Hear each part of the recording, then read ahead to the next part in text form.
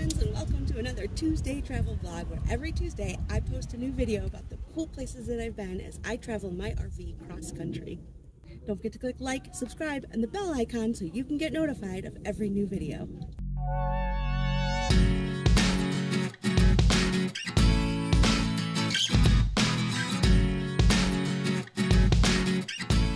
Today's Tuesday travel vlog comes to you from Yosemite National Park. There are four entrances to the park. The most northern entrance is the most popular as that includes Tioga Pass.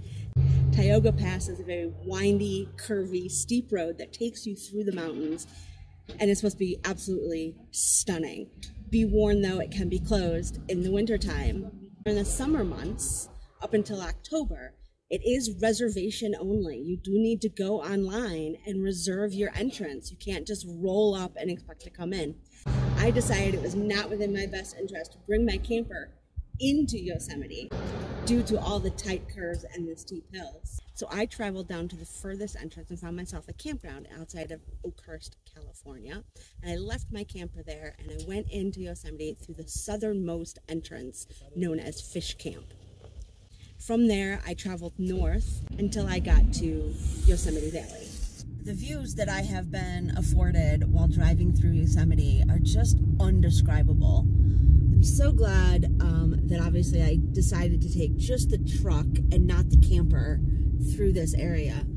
While it's quite possible, and I have seen uh, a few smaller motorhomes come through, there is no way uh, I personally would have felt comfortable doing this with my camper.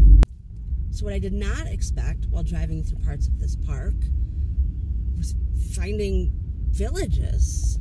I mean, this is where people clearly live full time. Not just campers or cabins, but full houses uh, and a school.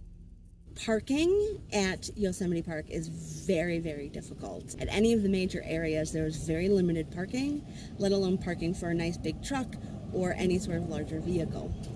They do have a shuttle bus here that takes you through the park. Um, while driving through the park, I find is actually half the fun. The parking is not. So, might be a recommendation for those of you that don't want to drive and just want to sightsee or don't want to deal with the parking. I recommend taking the Yosemite shuttle. So, I've been in the park now for about two hours. Made a little stops here and there to take some pictures. I'm finally getting my first hike of the day in. It's 12:30, the heat of the day, so I'm not rushing my way through any hikes, but I am on the Yosemite Falls Trail and this little path should take me to the falls and some beautiful areas. It's going to take me to the lower falls, not the upper. Um, the upper is like a seven hour hike. I don't have all day to do that, so we're just going to do the smaller one. Much of Yosemite is covered in these giant redwoods. Redwoods are the tallest tree in the world with long, skinny trunks, often confused with sequoias that are the largest in the world in terms of mass. Sequoias generally have a larger base than your redwood. In January of 1997, the floodwaters from the snowmelt flooded the valley to its highest point, which is five feet over the bridge that I'm currently standing on.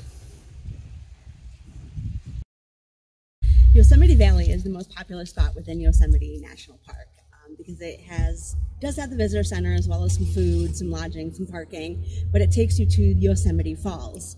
You can follow a nice easy path to the base of the falls, and if you're adventurous, you can boulder climb to the very base of the falls and be able to enter into the water.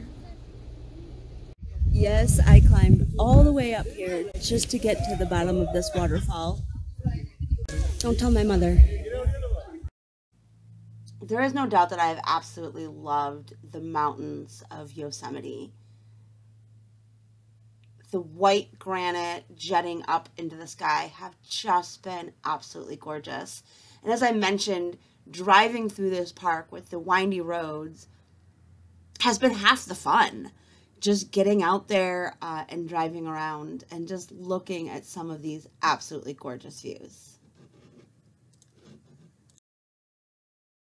This portion of the Yosemite visit takes me to Mariposa Grove, which is most famously known for the grizzly giant. The grizzly giant is this large sequoia tree. It is about the size of the Statue of Liberty.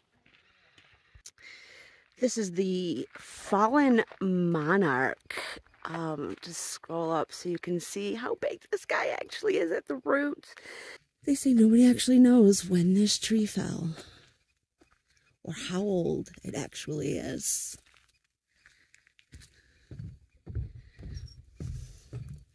Look at the size of this tree. We're just gonna keep walking and from one end to the other. And we're still going. We're not done yet. Nope, still going. There we go. Very top of this tree. Let's look back on that. Looking back on it, the fallen monarch.